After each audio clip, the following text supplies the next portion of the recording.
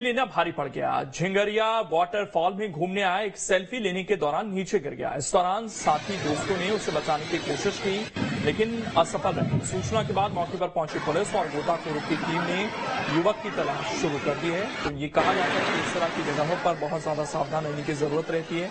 आपकी एक गलती मुश्किल में डाल सकती है, यही इस युवक के साथ भी हुआ।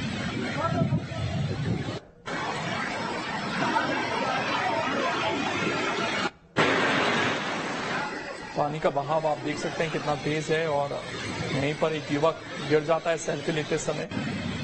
फ़िलहाल उसको ढूँढने की कोशिश की जा रही है और बचने के जो चांसेस बहुत कम दिख रहे हैं।